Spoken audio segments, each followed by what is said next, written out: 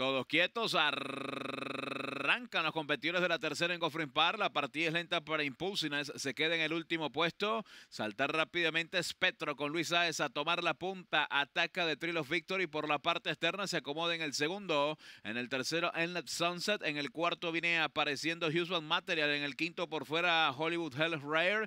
Luego lo viene haciendo el caballo Florer Meat, mientras que se ha quedado en la última colocación Impulsines, el número 7, bastante lejos. Domina Spetro. Petro está adelante con Luis Sáez, tres cuartos de cuerpo sobre The Trill of Victory. El favorito que trata de controlarlo en el segundo lugar en 24 a 12 el primer cuarto de milla. En el tercero aparece Hollywood Hell Rares. En el cuarto por la baranda Enlet Sunset. En el quinto está el ejemplar Human Material. Luego lo viene haciendo Fleur Me y continúa bastante lejos en el último lugar. En la recta de enfrente, Spetro con Luis Sáez mantiene el primer puesto. Contenido en el segundo de Trill of Victory con Paco López.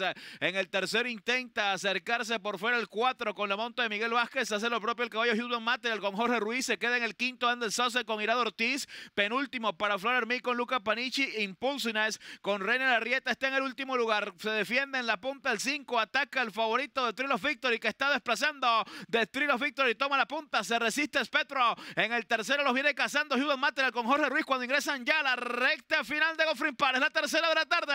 Dominando por el centro de Trill of Victory. Sigue la presión del 5 y mejora Houston Material por la parte externa contra el, contra el puntero de Trill of Victory. Con Paco trata de escaparse.